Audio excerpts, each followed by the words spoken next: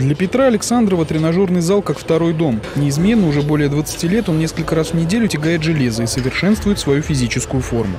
Совсем недавно он вернулся из Брянска, где состоялся чемпионат России по пауэрлифтингу спорта слепых.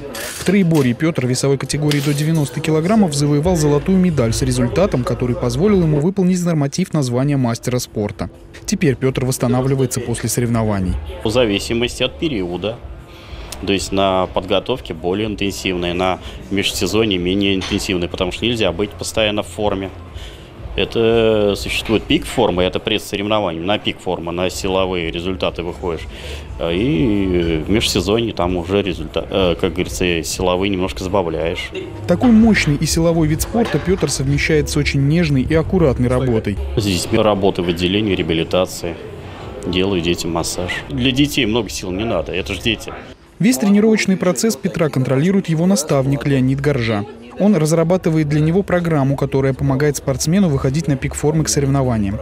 Леонид отмечает, по работоспособности и ответственности Петр – самый настоящий профессионал. Наверное, это больше человеческий фактор, хотя, да, ограниченные возможности человека ну, сподвигает как-то на то, чтобы ну, самореализация, утверждение в жизни, доказать что-то самому себе, занимает ну, далеко не последнее место.